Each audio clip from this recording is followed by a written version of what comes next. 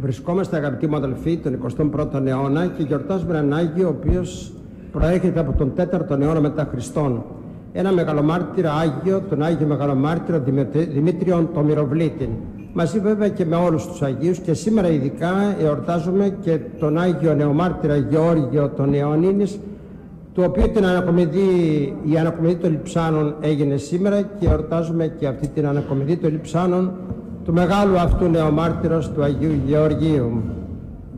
Επομένως έχουμε έναν Άγιο της Εκκλησίας μας, μεγάλο Άγιο, μεγαλομάρτυρα, τον Άγιο Δημήτριο και τον πανηγυρίζουμε τώρα τον 21ο αιώνα γιατί έχει πάρα πολλά να μας πει. Όταν διαβάζει κανείς το βίο του Αγίου Δημητρίου τότε καταλαβαίνει τι σύγχρονη είναι αυτή η μορφή σήμερα. Και χθες κατά τη διάρκεια του Εσπερινού, το κήρυγμα το οποίο έκανα, παρουσίασα ένα μεγάλο, ένα σημείο συγκεκριμένο της ζωής του Αγίου Δημητρίου που έχει τόσα πράγματα να πει στην εποχή μας. Σήμερα θα ήθελα απλώς να αναφέρω τι σχέση έχει ο Άγιος Δημήτριος με τη σημερινή εποχή.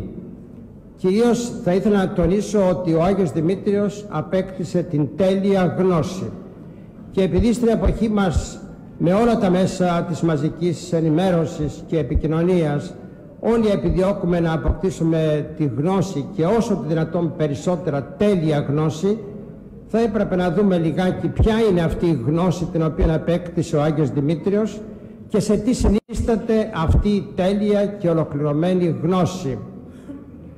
Να ξεκινήσω ε, από ένα χωρίο το οποίο είναι πάρα πολύ γνωστό του μεγάλου φιλοσόφου του 4ου αιώνα π.Χ. του Αριστοτέλους ο οποίος έλεγε ότι ο άνθρωπος φύση του ιδένε ωραίγεται. Δηλαδή ο άνθρωπος έχει μέσα τη φυσική αυτή δύναμη, έχει μέσα την όρεξη, την εσωτερική να γνωρίσει τη γνώση. Ποια είναι αυτή η γνώση; Γιατί μπορεί σε πολλά επίπεδα να δει κανείς την ανθρώπινη γνώση. Η πληροφόρηση είναι οπωσδήποτε μια γνώση. Και έχουμε τη δυνατότητα σήμερα με τόσα μέσα μαζικής ενημέρωσης που έχουμε να αποκτήσουμε μια ολοκληρωμένη γνώση των πραγμάτων που γίνονται στην κοινωνία και στον κόσμο. Όμως η γνώση δεν παραμένει μόνο στο στάδιο της πληροφόρησης των γεγονότων που γίνεται σε ένα επιφανειακό χώρο, σε, μια, σε ένα ιστορικό επίπεδο. Θα μπορούσα να τονίσω τρία σημεία γνώσεως η οποία είναι εκείνη που κάνει τον άνθρωπο να αποκτήσει ολοκληρωμένη γνώση. Το πρώτο είναι η αυτογνωσία. Να γνωρίσει κανείς τον εαυτό του, στο βάθος όμως.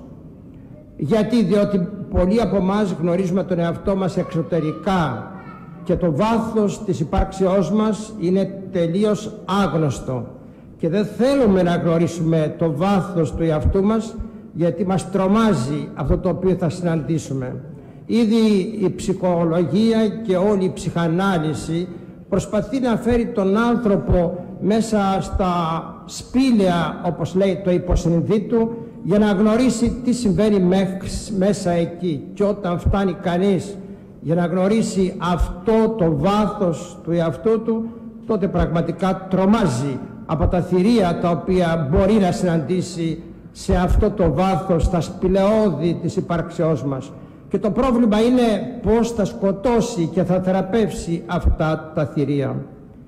Το γεγονός πάντως είναι ότι ο εαυτός μας είναι ο άγνωστος. Δεν το γνωρίζουμε. Γνωρίζουμε πολλά πράγματα με τη λογική, πολλές επιστημονικές γνώσεις, αλλά παραμένει στο βάθος ο άνθρωπος άγνωστος μέχρι τέλους της ζωής μας πολλές φορές δεν καταλαβαίνουμε τι υπάρχει μέσα στην ύπαρξή μας. Οπότε είναι πολύ σημαντικό να αποκτήσει κανείς την αυτογνωσία.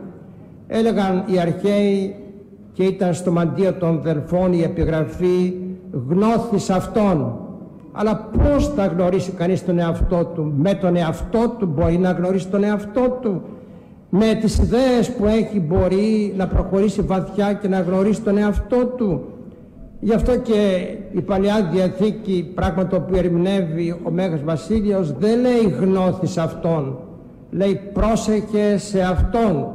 να προσέχεις τον εαυτό σου μη της σεις, μη της περισσέ αλλά σε αυτό μόνο πρόσεχε και όταν κανείς προσέχει τον εαυτό του τι ιδέες θα έχει μέσα του και τι ε, θα έχει μέσα του λογισμούς τότε προστατεύεται και το εσωτερικό μέρος της υπάρξεως του ανθρώπου. Η δεύτερη γνώση είναι η ετερογνωσία. Εάν η αυτογνωσία είναι πολύ σημαντικό γεγονός, σημαντικότερο γεγονός είναι και η ετερογνωσία. Να γνωρίσουμε δηλαδή τον άλλον, να γνωρίσουμε τον άλλον στην, στο βάθος του, στην ύπαρξή του. Γιατί και πάλι θέλω να πω ότι ο άλλος είναι άγνωστος. Γνωρίζουμε εξωτερικά πράγματα, γνωρίζουμε το χαρακτήρα του, γνωρίζουμε τη σκέψη του, αλλά δεν γνωρίζουμε το βάθος της υπάρξεώς του. Ακόμη και άνθρωποι που μένουν μέσα στο ίδιο σπίτι δεν μπορούν να γνωρίσουν το βάθος της υπάρξεως του άλλου γιατί δεν τους αφήνει το εγώ του κάθε ενός. Και είναι πολύ σημαντικό αυτό που έλεγε κάποιος θα πρέπει πριν χωρίσουμε να γνωριστούμε να γνωριστούμε πριν χωριστούμε. Θα έρθει κάποτε κάποια στιγμή που θα χωρίσουμε και θα χωριστούμε ένας από τον άλλον. Θα έπρεπε μέχρι τη στιγμή εκείνη να, να γνωριστούμε να γνωρίσουμε στον άλλον, τον άλλον στην καρδιά του το βάθος που πολλές φορές καλύπτεται από εξωτερικά πράγματα και παραμένει άγνωστος ο εαυτός του άλλου του συζύγου μας, της συζύγου, των παιδιών μας, των ανθρώπων με τους οποίους συναναστρεφόμαστε. Και τρίτο σημείο γνώσεως είναι η θεογνωσία. Εκεί είναι πια που υπάρχει το πρόβλημα να γνωρίσουμε το Θεό, τον αληθινό Θεό γιατί όλοι πιστεύουν σε κάποιο Θεό αλλά τι είναι αυτός ο Θεός στην πραγματικότητα; Είναι αυτός ο οποίος απεκαλύφθη σε μας είναι αυτός το δεύτερο πρόσωπο της Αγίας Τριάδος που απεκάλυψε τον εαυτό του ο Ιησούς Χριστός και δια του Χριστού γνωρίζουμε τον Πατέρα και φυσικά αυτό γίνεται και με το Άγιο Πνεύμα αυτή είναι η γνώση του πραγματικού Θεού που προσφέρει αλήθεια, αγάπη, ειρήνη. Γιατί αν εν ονόματι του Θεού, ενός ανυπάρκτου Θεού και ένα Θεού ο οποίος διακατέχεται από πάθη, ή αν πιστεύουμε ένα τέτοιον Θεό γεμάτο πάθη που είναι στην πραγματικότητα ανύπαρκτος, τότε και η κοινωνία γεμίζει από τέτοια πάθη. Ο Θεός, ο δικός μας ο Θεός του Αγίου Δημητρίου όπως έλεγε ο Νέστορ ο Θεός του Αγίου Δημητρίου βοήθημη είναι Θεός αγάπης, ειρήνης, πραότητος, ταπεινώσεως, ελευθερίας και προσφέρει όλη τη γνώση στον άνθρωπο την υπαρξιακή γνώση. Ο Απόστολος Παύλος μιλάει για αυτόν τον Θεό στην προς Ρωμαίους επιστολή θα πει το γνωστόν του Θεού φανερών εν αυτής εστίν ο γάρ Θεός αυτής εφανερώθη. Ο Θεός είναι άγνωστος ως προς την ουσία, γνωστός ως προς τις ενέργειες και το άγνωστον ή μάλλον το γνωστόν του Θεού αποκαλύπτεται και φανερώνεται στους ανθρώπους. Γι' αυτό θα πει στη συνέχεια ο Απόστολος Παύλος τα αόρατα αυτού αποκτήσεως κόσμου της ποιήμαση νοούμενα καθοράτε είτε αίδιος αυτού δύναμης και θεότης. Τα αόρατα του Θεού η ουσία του Θεού που είναι δεν μπορούμε να τη δούμε όπως δεν μπορούμε να ανατενίσουμε τον ήλιο και μάλιστα το μεσημέρι το λαμπρό ήλιο θα τυφλωθούμε. Έτσι δεν μπορούμε να γνωρίσουμε τα αόρατα του Θεού. Αλλά αυτά τα αόρατα του Θεού αποκαλύπτονται σε αυτούς οι οποίοι έχουν καθαρή καρδιά. Μακάρι η καθαρή την καρδία ότι αυτοί τον Θεό όψονται και αυτοί βλέπουν το Θεό μέσα σε όλη την κτήση. Γι' αυτό λέει τα νοούμενα της ποιήμαση νοούμενα καθοράτε βλέπουν την ενέργεια του Θεού σε όλη την κτήση και βεβαίως η αίδιος αυτή θειότης και δύναμης και ενέργεια έρχεται μέσα στον άνθρωπο και τότε η καρδιά του ανθρώπου γίνεται καρδιακός ουρανός. Αυτή αγαπητοί μου αδελφοί είναι η τέλεια γνώση.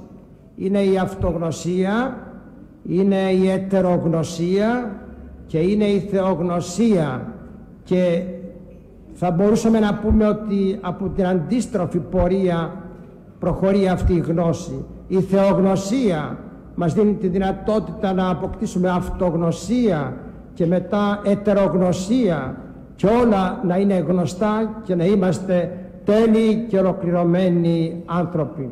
Αυτή τη γνώση διδάσκει η Εκκλησία του Χριστού. Το σχολείο αυτής της γνώσεως είναι η Εκκλησία.